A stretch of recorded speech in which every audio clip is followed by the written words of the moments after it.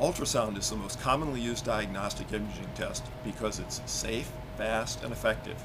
We think vScan is a big advance in portability that'll impact both the cost of and access to healthcare.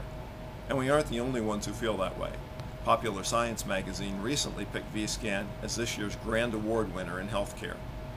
With so many new users, vScan had to be simple. So, at GE Global Research, we developed two key technologies.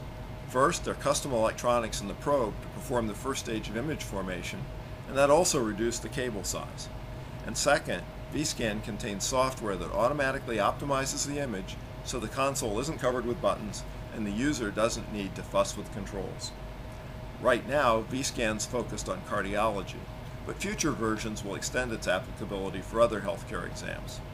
From the Ultrasound Lab at GE Research, I'm Scott Smith, wishing you and yours a happy holiday and the healthiest of New Years.